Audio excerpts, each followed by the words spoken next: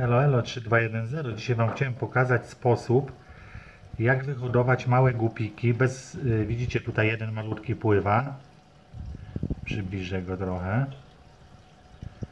Po prostu zrobiłem kotnik, pseudokotnik, czyli możliwość, możliwość hodowli w dużym zbiorniku gupików. Tutaj mamy gupikarium, tak jak już Wam kiedyś mówiłem.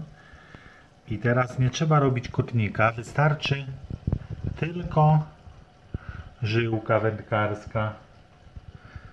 Kilkadziesiąt metrów żyłki bierzemy tak ją troszeczkę czochramy i widzicie, że ryby mogą się tutaj schować. Gdzieś tam teraz uciekł ten głupik, przynajmniej ja go teraz nie widzę, a jest tutaj pod, jest tutaj pod powierzchnią cały czas, sobie pływa. I co ciekawe, z tej strony go pokażę. Nie wiem, czy z tej strony go będzie widać. O, jest widać malutką rybkę. I tak to mniej więcej wygląda. Pokażę z daleka. Na jednej części tu pomiędzy filtrem, tu jest spokojniej. Coś takiego rozkładamy. Widzicie, tam w tle sobie rybki grasują, ale na pewno już nie zjedzą go. No, pierwszy miod, dopiero pierwszy głupik. Za jakiś czas będzie ich więcej akurat. Pokażę Wam za jakiś czas, jak to mniej więcej wygląda, czy to się sprawdza.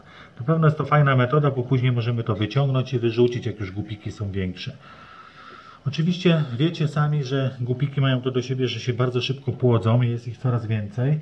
W związku z tym jest to sposób raz na jakiś czas, bo nie zapominajmy, że jednak mały głupik jest też dobrą karmą dla kupików i po pewnym czasie nie poradzimy sobie, bo będziemy mieli ich bardzo, bardzo dużo.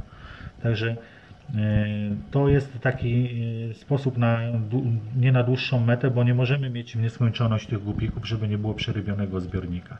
Serdeczności, pozdrowienia. Nie zapomnij suba kanału. Niedługo się odezwę.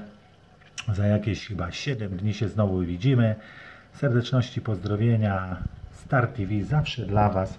Prosiłbym, żeby tematy, które będą tutaj pod filmem były tylko na temat akwarystyki, o innych tematach rozmawiamy przy tych filmach, gdzie jest dany temat.